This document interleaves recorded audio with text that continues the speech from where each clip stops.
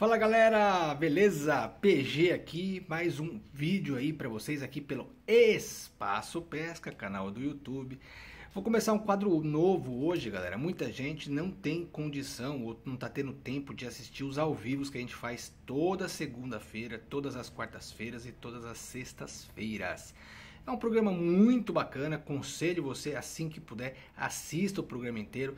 Mas eu vou fazer um, um quadro novo aqui, começando hoje, que é PG Responde, onde eu pego aí os melhores momentos das lives e dos programas que nós fazemos ao vivo e vou colocar e vou é, dividir esse conhecimento com vocês em curtos, vídeos bem curtinhos, PG Responde. Espero que vocês gostem.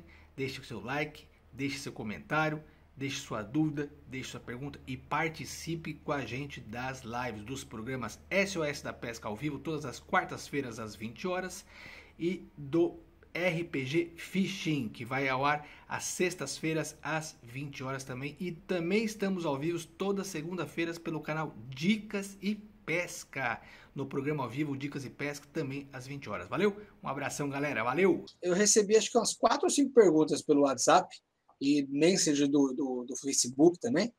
É, em relação a isso, oh, eu tenho uma, uma isca de minha água e quebrou a barbela, vou usar elas como stick. Vai dar certo? Não. Mas por que, que não dá certo? Porque internamente da isca são colocados pesos dentro da isca esferas de chumbo ou algum outro artifício para equilibrar essa isca de forma com que ela fique é, é, equilibrada para ser trabalhada ou na superfície ou na meia água. Quando a isca é de meia água, além da barbela, esse, essa, esse chumbo não fica na ponta da isca para que a isca fique em pé quando está boiando. Ela, ela fica mais, mais centralizada ou até mais para frente, para que a isca faça isso na água.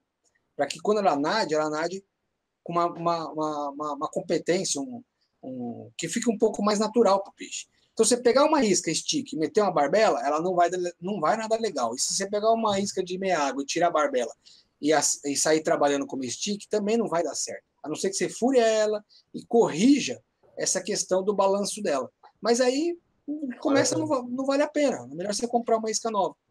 Certo? É isso aí, galera.